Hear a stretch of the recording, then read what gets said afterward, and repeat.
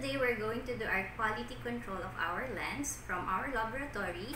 Uh, so we have to make sure that all the lenses na check namin before natin ibigay sa mga patients. Okay?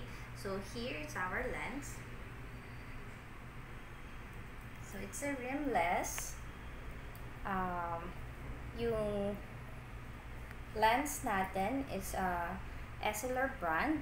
Uh, yung lens design niya is uh, Varilux Facial uh, Digital Transition Generation 8 Airwear. So, airwear meaning polycarbonate siya, hindi siya nababasag. So, normally, if your glasses are rimless, we recommend uh, polycarbonate lens para hindi siya basta mabasag. Kasi, ang rimless, you can see, uh, screw type lang siya or this one is a clip type.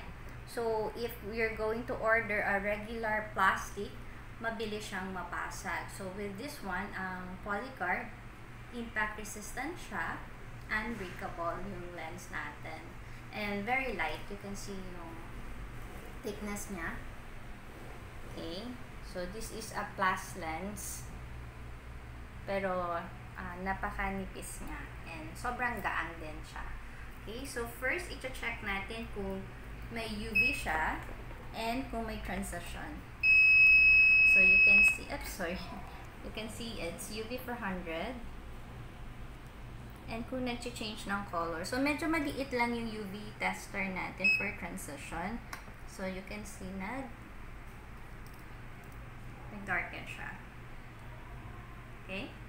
So we check the other lens. Kasi may times nagkakamali din yung mga laboratory. So, we have to make sure na both lens ay nag-change ng color. And UV 400. Okay? So, nag-change siya. Okay? So, kapag na-expose to sa araw, uh, automatically mag-change siya both lens, even even yan sa the whole lenses natin. Okay? Then, ito-check natin kung meron siyang EMI coating. So, meron siya for both lens. Okay. And then, actually, this one is, ang coating niya is Rizal Sapphire UV lang, no? Pero, na-notice ko, kapag uh, chinek mo siya with the blue filter, meron din siyang na lumalabas. Okay? So, ito yung ano natin, no? Uh, simulated blue light. Uh, meron din siyang nafi-filter kahit papano. Okay, so this one, if yung user ay hindi naman siya regularly or prolonged uh, period of time na exposed sa digital devices, this is good enough as a, a UV uh, blue light filtration. Okay? ito kasi pag wala. Ganun siya. So, pag meron, so meron siyang the filter. Okay? So, kung mga quick use lang ng cellphone or ng uh, laptop, pwede na to. Okay? Pero if you're a uh, prolonged usage ng computer, mas advisable yung may blue filter. Kasi mas na-filter out lahat siya mas dark na siya ngayon. Okay? So, I want to share lang kung paano pumili ng progressive lenses. So, normally, na kapag nag-offer tayo with a patient with progressive, natatakot sila kasi mostly sinasabi nila nakakahilo. Okay? When prescribing uh, progressive lenses, number one, ang tinatanong ko sa pasyente, ano ba yung uh, daily activities niya, ano yung uh, visual needs niya sa malapit o sa malayo. So, kapag nalaman natin yung mga yon, uh, doon tayo makakapag-recommend kung ano ba yung best lens design for this particular patient or for, for this particular person. So, uh, you can see here yung iba't iba nating lens design. This is uh, from Varilux lens design. So, yung napili natin for our patient is a Varilux Visual. Okay, ito yung mga dapat nating i-consider kapag pipili tayo ng progressive lenses. So, number one, is it easy to use? So, yung rating ng Fisho, yes, it's easy to use. So, kumbaga, parang may 3 star siya. Okay? And then, yung seamlessness niya from far to near, kasi ang um, progressive, madami siyang grado sa iba't ibang distance. So, yung transition from near to far, very important yan pag uh, nagpipili tayo ng lens design. So, for Fuchsia, it's 2.5, okay? Uh, when it comes to comfort in all activity, uh, 3 star din siya. Yung high contrast vision niya, 2.5. And wide angle vision, 2.5 and yung balance in motions 2.5. Okay? So, pag gusto mo yung lahat sila eh perfect, you have to use the Varilux X. Okay? Yung Varilux X series kasi, lahat sila uh, easy to use, seamless siya, mas comfortable siya in all this uh, all activities, yung high yung contrast niya, mas wide yung angle of vision, and mas wala siyang motion effect, okay? So, sa progressive, you have to remember that the clearest vision of the lens is at the center. Okay? So, you can notice here, kapag regular, um, mas malaki yung blur, blurred side niya or yung ito, kapag nakikita to ng patient, normally sabi niya parang with V sila. Okay? So, ito yung iba't ibang uh, lens design ng Varilux. So, ito yung regular type nila. So, you can see, much better siya. Much wider. Okay? Ito yung distance, ito yung near. And this one, sa Varilux Comfort, kung i-confirm mo siya sa Varilux S, mas malawak din siya.